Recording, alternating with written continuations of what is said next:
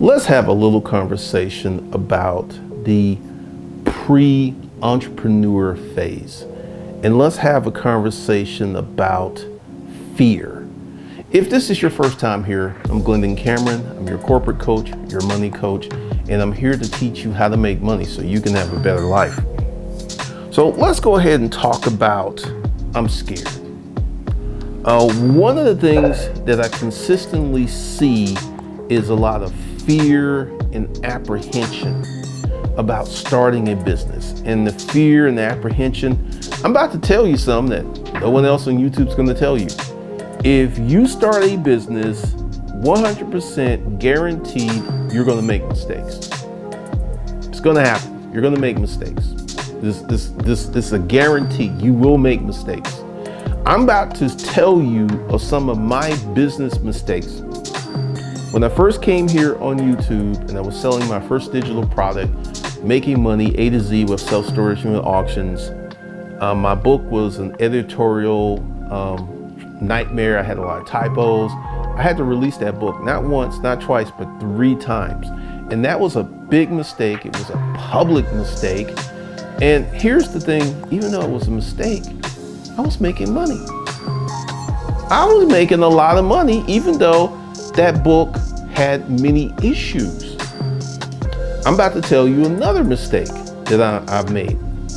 Um, I started running paid traffic a few weeks ago, about four weeks ago, and as I built out my creative, which was my ad, and built out my webinar, and I noticed that things weren't converting on the back end, and once I actually looked at the data, as my friend is very fond of saying, because you're just buying data when you run ads, um, I saw that the landing page was uh, a hot mess.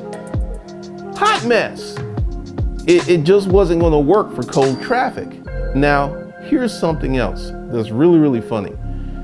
The way that I had literally set my business up, Hustlers Kung Fu, B School for Hustlers was not appropriate for cold traffic.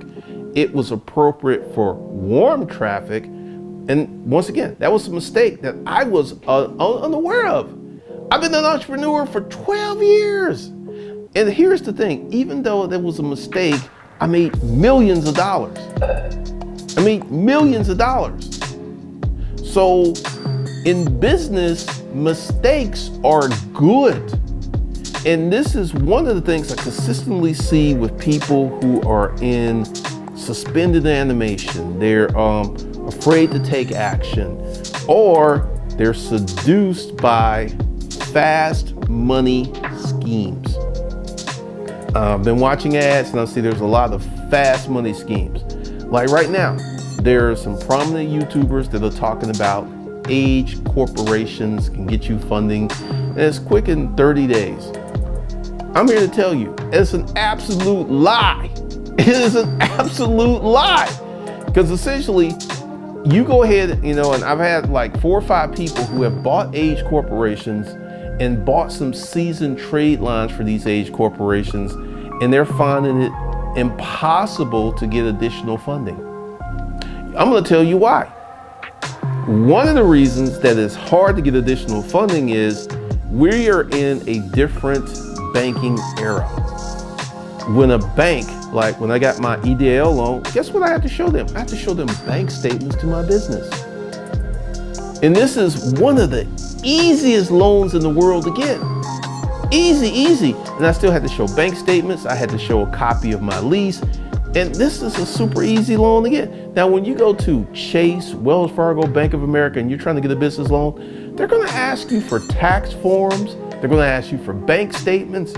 You know, the age of your business is 100% irrelevant. You must have age, you must have bank statements, you must have tax forms, or in the case of EIDL loan, I didn't even have tax forms. So one of the things is that people because I understand the allure and the appeal of this stuff now. I understand that you want something really quick, really fast because you're scared. So if you could do something on Monday and get a result on Saturday, that will abate your fears. And I'm here to tell you, you're going to make mistakes. And more than likely, you're going to do something that you're going to lose money. And that is good. You want to know why? To coin the phrase my friend Tommy Powers was saying is you're buying data. When you spend money in business, you're buying data. So it's not like a long term or catastrophic mistake. You're just like, oh, I have more information. Because, like, literally, once I got the correct information, what did I do? I literally dug in my business and tore it apart. Because now I'm operating on real information, I'm operating on the proper data. And th- this is one of the things that so many people are seduced by these quick money schemes because it, you, are looking for quick results. And I'm about to say something. And this is something I've been talking about for years. In business, you're looking at a two to three year journey. And in the beginning, it's gonna suck. It's gonna suck. Your first two or three years might absolutely be hell. They may be, depending on what business you get in, what business model, depending upon your level and skill sets as an operator. Uh, it could be really, really rough. But one of the things that I want to tell you is if you take these two to three years and make your mistakes, take your lumps, and build a solid, sustainable, durable business, you will be really grateful three years from now because you'll have something that is giving you cash. And all of these quick money schemes, all of these, well, you you know, I, have seen several YouTube channels, and I'm not going to start any YouTube wars, but I saw someone that said they got millions of dollars in business credit in just a few years. And I cannot honestly say that that is untrue because I don't know. But what I'm going to say, as someone who has developed business credit, $150,000 worth of business credit in literally four or five months, and what I went through, I'm like, I'm a little dubious. Let's just say that. I'm not going to call this person a bold-faced lie. I'm not mentioning any names, but I am seeing how this YouTuber gets people, because essentially, one of my greatest claims to fame is I tell you the truth. And the truth is vastly unpopular. I've been looking at the YouTube channels that are growing, and there's a common theme. You can do it, it's easy. You can do it, it's easy. You can do it, it's easy. This is the common theme. These channels grow. I read the comments. People love this stuff. And no one is really getting actionable results. It's just like they, they, they like what they sound. It's like when you go to an evangelist gospel church and you get all gassed up on the word and the Lord and the scripture. And at the end of the day, you're filled spiritually. You're fulfilled spiritually but from a practical application standpoint, you get zero. And I, have looked at this because I've seen it. Like uh, there's another YouTuber and he started a real estate channel and I'm beginning to understand because you know it's like how to get into car flipping and how to do all this other stuff and all this hustles, hustles, hustles. Even though he himself has a durable, sustainable business model. But he ain't talking about that that much. He's just talking about hustles because this is what the culture is looking for. And I am going not, you know, I had a comment that, you know, once again, this is new social media policy. If you leave a crazy comment, I'm not going to engage. I'm just going to block you and delete your comment. And it was like, now you anti hustle. I hate when people misinterpret me telling you the truth, telling you the things you need to hear, not telling you what you want to hear, as now I'm anti hustling. I did a videos like hustling is a great place to start. That doesn't sound like I'm anti hustling, but as someone who has walked that path, my storage auction business was a hustle. And the minute my partner developed colon cancer, rest in peace, Francine, and the minute I got sick, we had to shut that down. So I actually 100% know what's gonna happen if you start a hustle and something bad happens. That hustle's gonna deteriorate, your orbit's gonna deteriorate. And I also, as someone who had a heart attack in 2019, and it didn't really look good for me when I was in the hospital. I was in the hospital almost four weeks. Uh, I didn't work for five months because I had built a business. I didn't have to touch my money, my cash money in the bank. I didn't have to touch it. My business was able to pay the bills. I was able to pay the bills from my business, even though I wasn't working. And this is the message the, that I'm going to work on because essentially, when you build a business, it can't be ripped apart by life. When you build a solid, sustainable business, it can't. So, we're going to get into building businesses, how to do business funding, how to buy businesses. We're going to get into how to set up corporations, C Corp, sell stock. We're, we're, we're getting into a different level of content because it's going to be my job to do it because no one else is doing it on YouTube. Everyone is predicated on creating content that gets views which is going to go to the late the basic lowest denominator versus actionable content that you need to hear. That if you deploy and act on this content, you're going to have a better life. And that's what I'm about. Because, like I said, I'm not going to lie to you and tell you you start a business, it's going to be all easy. You're going to make mistakes. I have made million dollar mistakes in my business. And until I started running paid traffic, I was completely unaware. But here's the thing even though I was making mistakes, I was still making money. So when you get into the game of business, depending on how you're playing it, you can make mistakes and you can still win. And then you can learn from those mistakes, apply that knowledge to your business, and then win even more. So, yes, when you start your new business and you've never had a business before, you're going to make some mistakes. Yep, it's going to happen. Uh, when you start your business, you're going to find out stuff that, and here's another thing. Every one of us who starts a business, we are operating on a thesis of assumption. We assume that the marketplace is going to want what we have to offer. We're making an assumption. And until we start putting stuff together and put it in the marketplace where the marketplace can go, yeah, we want that boo, hiss. We don't want that. Until we do that, we don't know.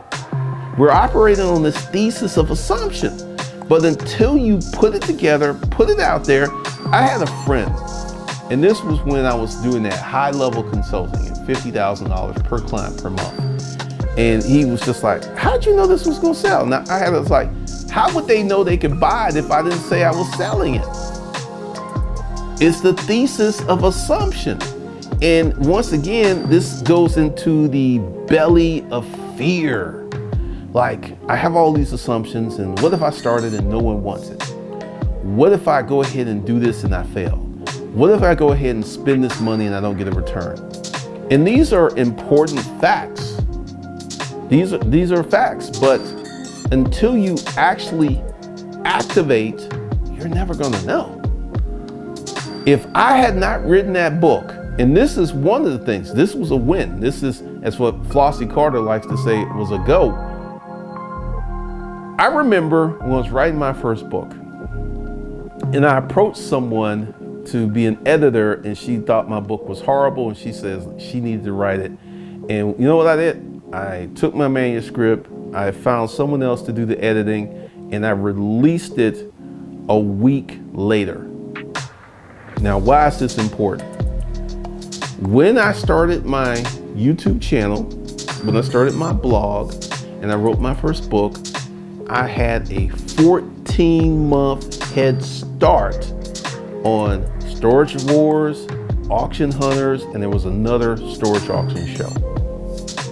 I had a 14 month head start, which if I had followed her advice, I would have not had a 14 month head start. Now, why is this important? Because I had this 14 month head start for literally three years, I own the storage auction information, content, and training business space. There was no one else. There was no one else in the space. And then there was a, a blog that was talking junk about me. And then literally once it was dying down, a lot of people came out with storage auction books, how-to books, how-to products, and all this other stuff, and they had literally missed the wave. So that decision to put out a book, to go forward, even though I was scared, even though I didn't know what was going to happen, was one of my best decisions ever because I was able to catch that wave as it was developing because there was no storage auction space when I started. This was something that became developed when the shows went on and every time they would run uh, storage auction wars reruns, my sales would go through the roof. And I positioned myself because I put my stuff out there. Even though I didn't know what was going to happen, even though I was scared, and I made a lot of mistakes. Bruh, I made a ton of mistakes. I essentially probably left 10 million on the table because of all the mistakes I made. So in business, and you know, I am a seasoned operator. I've been doing this 21 years and I'm still making mistakes. So is you as a new entrepreneur to pin your hopes, wishes, and dreams on putting out a perfect offering out the gate, no mistakes, no losing money, no learning curve is foolish. You should assume that, yeah, I'm gonna start my business, I'm gonna make some mistakes. Yep, I'm gonna make some mistakes. I'm gonna spend some money, it ain't gonna go well. Like when I started running paid traffic, I knew that I had to do testing first. I knew this.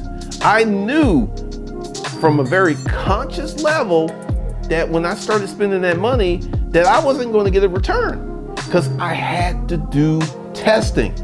Why? Going back to the thesis of assumption. I had some assumptions that I found out wouldn't work. I made an ad. I thought the ad was legit. Um, viewer rate was like 17%. I was like, they don't like that. Next, made another ad. It went up to 25%. Then I had this ideal. I'm gonna put the Porsche in. I'm gonna put the ATM receipt in. Went up to 44%. So I had this assumption that these things were going to work, but until I tested them, I didn't know. And this is where many of you are. You, you're full of assumptions, you're full of hopes, you're full of dreams, and you're scared to actually activate and put it out there. I mean, you may go ahead and create something and put it out there, put your heart and your soul in it, put your foot in it. And the marketplace may go, nah, we don't want that. You know what you do? Take the information that you learned because now you have data. Now you know, like, okay, they don't like that, and you have data points, and then you go back into the lab and you create something else. And then, like, it's a process. Once again, and I've talked about this, and this is something that's funny that none of my haters ever, ever mention this. When I was creating the Craigslist course, the marketing system, I did it on videos. I said I had to start it. And what did I say? I had to tweak it because I put out my first ads and I got feedback and I learned what worked, didn't work, wrote some more ads, got feedback, and just kept tweaking it and tweaking it until I got it perfect. But in the, from the beginning, it wasn't perfect. It took me literally three months of writing hundreds and hundreds of ads to work out my technique, work out my sequence. In the beginning, it wasn't perfect. And then when I created the Craigslist protocols, same thing. So in my videos, I consistently talk about you have to go off with a, a thesis of assumption and then work on it because more than likely your assumptions are going to be wrong. Your assumptions are not going to be valid. Your assumptions are going to not be what you think they will be because until you test your assumptions in the marketplace, you're never going to know. And there's some of you who are going to sit on your dreams, you're going to sit on your aspirations, you're going to just, and you're never going to take action. And you're going to become an old person and you're going to be like, I wonder what would have happened if I had tried that business. And you're going to be chewing on the bitter pills of regret because you did not take action because you were scared.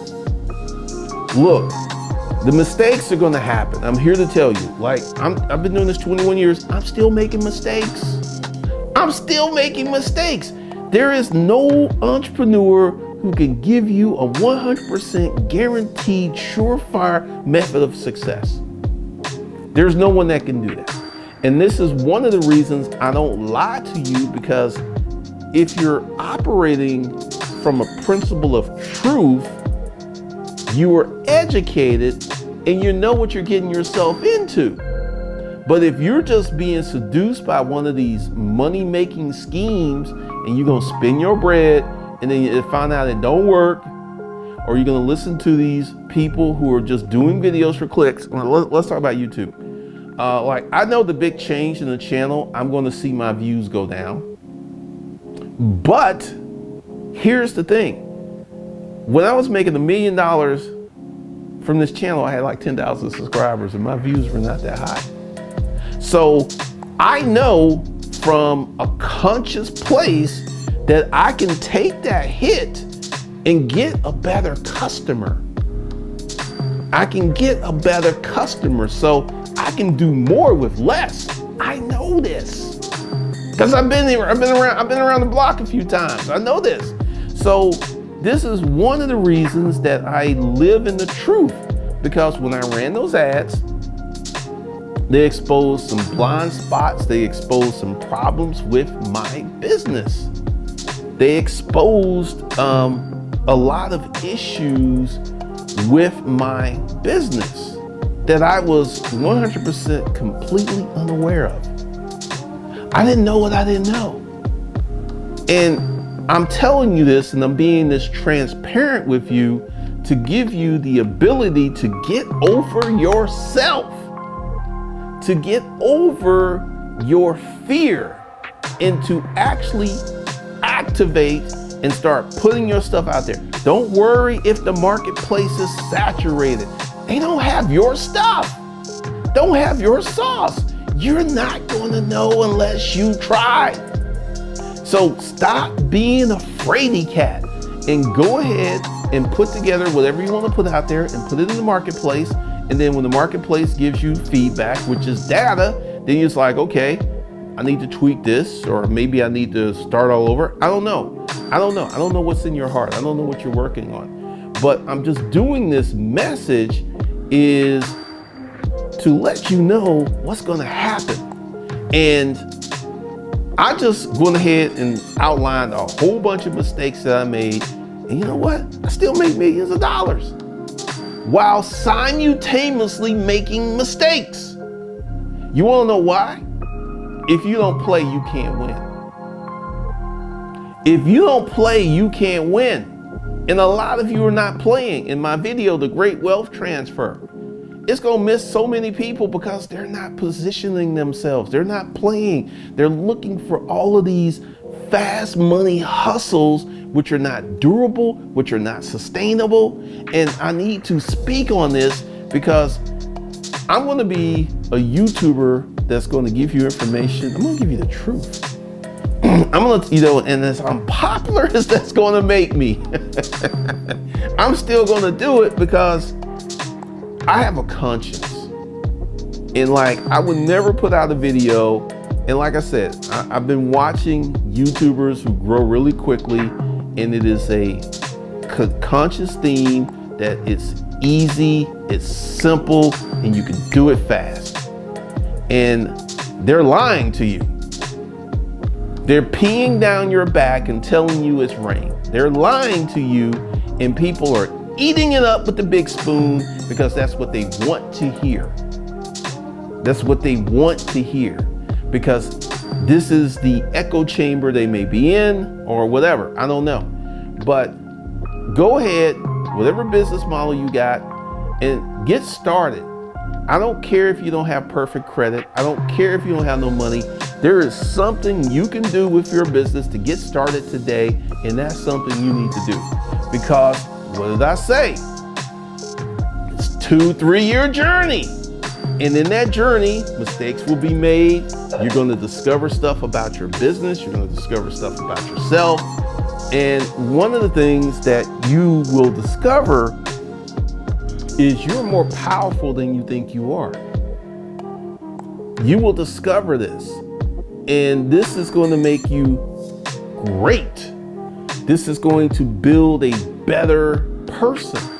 This is going to open up the doors to your greatness because there are many, many entrepreneurs who used to be homeless, who used to be broke, who are now millionaires. And you know, you know what the difference between them and you? They got started, they got activated. That's it. That's the only difference. I know how many times have you been working for someone who owns a company that is paying you a paycheck and you thought to yourself, this dude is dumb as a bag of bricks. How many how many people have worked for someone like that and you didn't think this person ain't no smarter than me? And you know what?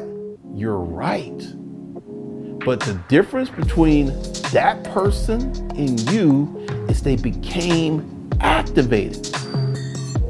That's it. That's the only difference. They didn't, you know, because like my past, um, I grew up poor. I had no silver spoons, but I got activated and I stayed activated.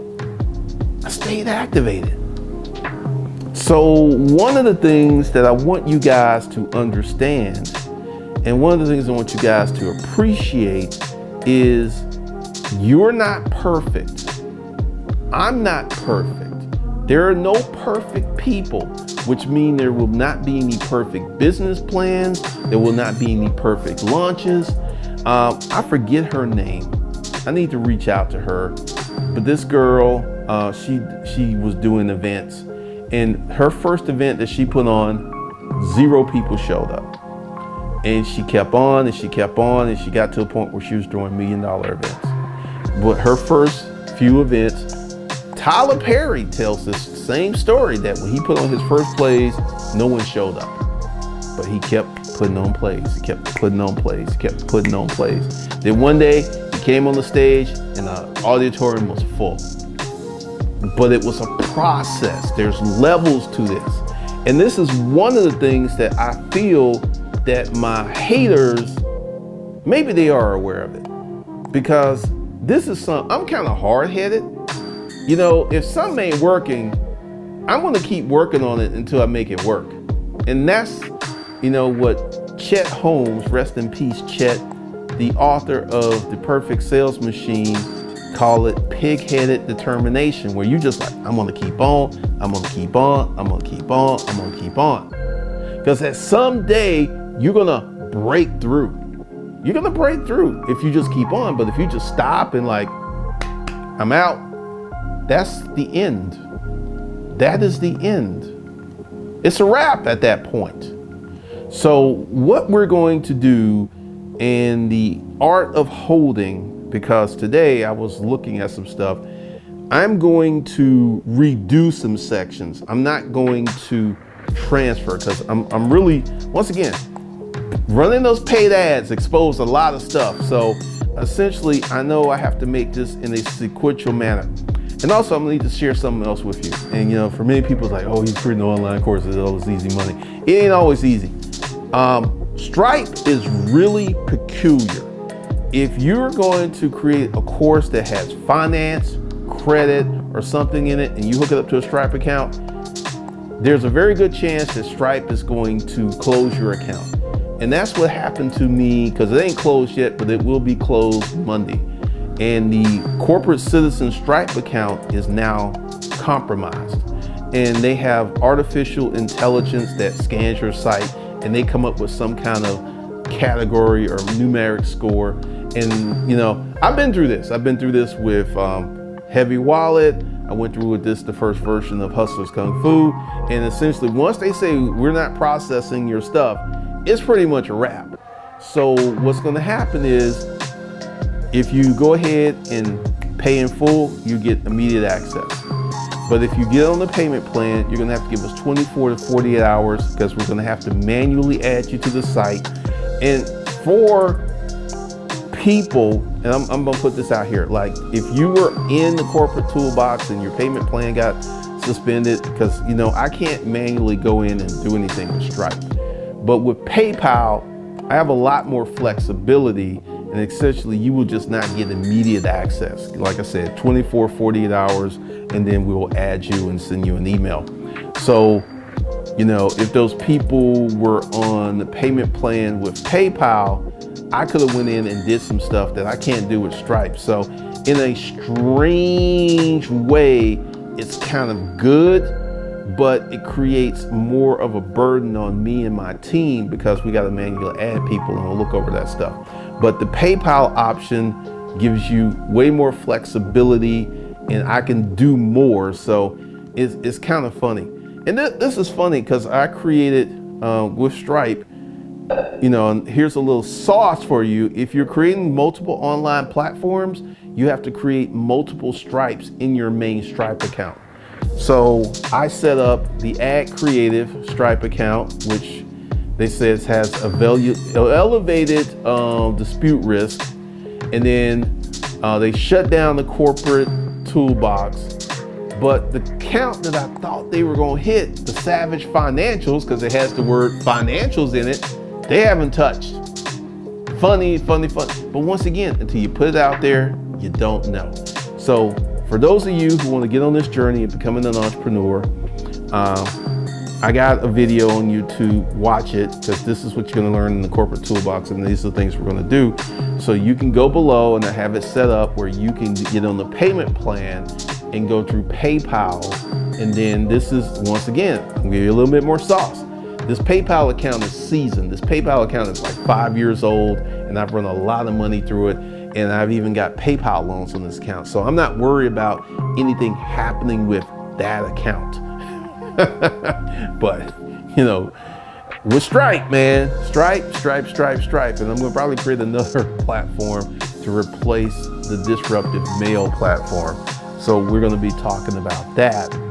But once again, that's gonna be after I go ahead and create this new training for the corporate citizen, and then we'll get to that. And then next week, I'm gonna have to run some tandem training because my goal is to create um, an hour or two of training per day, five days a week, maybe seven days a week, because in the next five weeks, this, this whole thing is going to shape up and you will get the training that you need to be successful and the help that you need. So I am going to redo certain sections of the corporate toolbox. And also, if you're in the corporate toolbox, you will have access to this information I'm just not going to transfer you over to the portal because I have a lot of people on payment plans. And then with the big transfer, because essentially, if I send a mass email, I will have to go through it and, you know, it, it creates a lot of work where I have to go through and remove people who, who payment plans have canceled because until I get that Stripe notification that your payment failed, I don't really know if your payment plan failed or not. And, you know, it is, is very interesting. So that's all I got for you. Links below, and I will talk to you guys in the next one.